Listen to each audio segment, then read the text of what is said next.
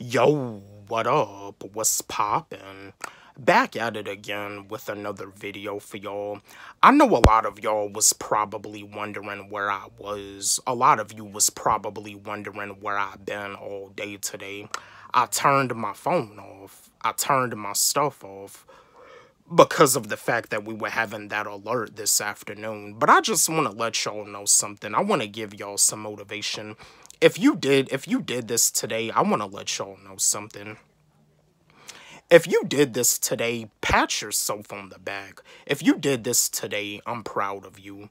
What what I'm talking about, which y'all pretty sure y'all I'm pretty sure y'all know what I'm talking about. If you if you turned your phone off today, so the alert wouldn't like pop up on your phone if you turned off your phone today because you were thinking that with with you being on your phone and with the alert showing up on your phone you was thinking that your phone probably would get a virus. If you turned your phone off being conscious of that i'm proud of you because i mean i'm proud of myself i had my phone turned off pretty much like all day today I'm proud of myself. I didn't go into panic mode or anything. And if you somebody that had your phone turned off all day today, I just want to let you know I'm proud of you. Pat yourself on the back.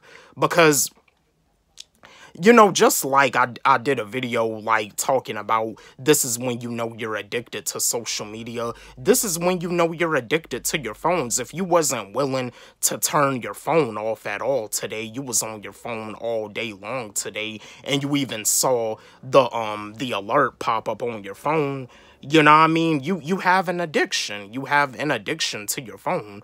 You're on your phone like a whole. Like you be on your phone so much that you be forgetting to do stuff. I mean, don't get me wrong. I be on my phone too. I be on my phone doing promoting, whether I'm promoting my music or whether I'm promoting my YouTube channel or whether I'm networking. But there are times where I do feel that I be on my phone too much and I feel like like I know I have to take a break. There's times where I just put the phone down and I just step away from it. But I'm proud of myself. I'm gonna pat myself on the back because I didn't go into panic mode or anything. I turned my phone off all day long today. And if you somebody that turns your phone off and you had your phone off pretty much all day long today, pat yourself on the back. I'm proud of you and you should be proud of yourself. You know what I mean?